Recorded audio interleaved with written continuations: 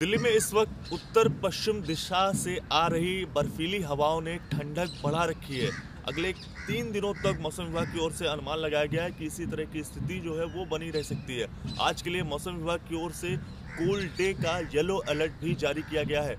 और तस्वीरें क्या हैं, हम फ़िलहाल कर्तव्य पथ पर मौजूद हैं और आपको राष्ट्रपति भवन की तस्वीरें आपको दिखाना चाहेंगे कि जो फॉग है, उसकी चादर में साफ़ तौर से जो राष्ट्रपति भवन है, वो लिपटा हुआ नज़र आएगा। अगर विजिबिलिटी की बात करें तो मौसम विभाग की ओर से अनुमान लगाया गया है कि आज की जो विजिबिलिटी सुबह साढ़े पाँच बजे पालम पर तकरीबन चौदह सौ मीटर और सफदरजंग पर पाँच सौ मीटर के आसपास बनी हुई है।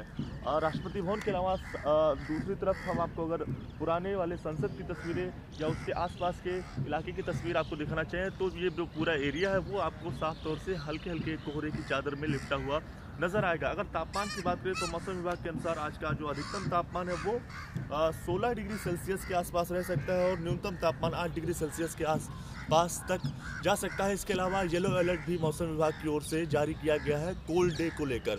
लेकिन हवाएँ चूँकि चल रही हैं, जिसके बाद अगर ए की बात करें तो ए में मामूली सा सुधार जो है वो साफ़ तौर से देखने को नज़र आ रहा है। दिल्ली का जो एवरेज ए है सीपीसीबी के आंकड़ों के अनुसार, वो हम आपको अपने फ़ोन की स्क्रीन पर दिखाएँ। तो ये जो आमतौर से साढ़े तीन सौ या तीन सौ के पार रहता था, वो अब घट कर दो सौ चौहत्तर पर आ गया। यानी कि जो ये बर्फीली हवाएँ हैं वो एक तरह से राहत की सांस दिल्ली वासियों के लिए लेकर आई हैं। इसके अलावा अगर अलग अलग इलाकों में बात की जाए तो इन तकरीबन सभी इलाके जो रहते थे, आमतौर से हम बीते कई दिनों से देख रहे थे, वो साढ़े, वहाँ पर एवरेज ए क्यू आई साढ़े तीन सौ के आसपास बना रहता था। लेकिन कई इलाकों में ये 200 से कम आपको नज़र आएगा, कुछ इलाकों में 150 के आसपास भी जो एक एवरेज ए क्यू आई है, वो आपको साफ़ तौर से नज़र आएगा। यानी कि एक तरफ़ जहाँ ए क्यू आई में सुधार हो रहा है, वहीं दूसरी ओर बर्फीली हवाएँ जो चल रही हैं, उससे दिल्ली एनसीआर में रहने वाले लोग काफ़ी ज़्यादा परेशान हो रहे हैं, खासकर सुबह के समय जब ये शीतलहर चलती हैं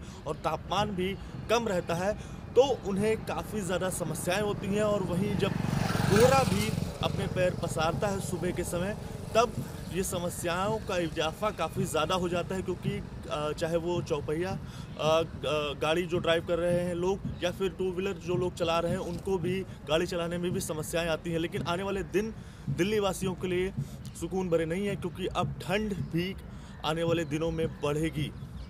कैमरा पर्सन अनिल कुमार के साथ दिव्यांकर तिवारी एबीपी न्यूज़ दिल्ली।